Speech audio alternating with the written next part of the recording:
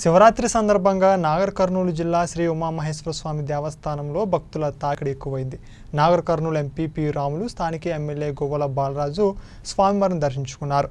ఆలయ committee chairman కందూరు సుధాకర్ ఆలయ are Srinivasulu పాల్గొని భక్తులకు ఇబ్బందులు కలగకుండా ఏర్పాట్లు పూర్తి చేశారు.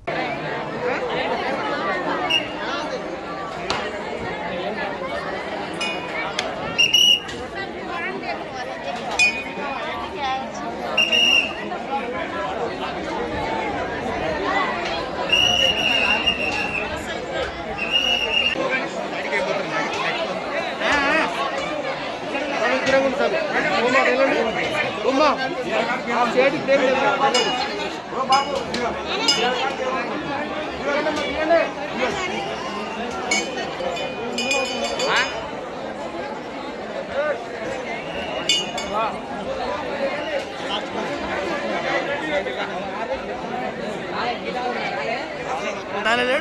నాయన ఎక్కడ ఉన్నాడు ఎవరికైనా అడుగుతున్నాడు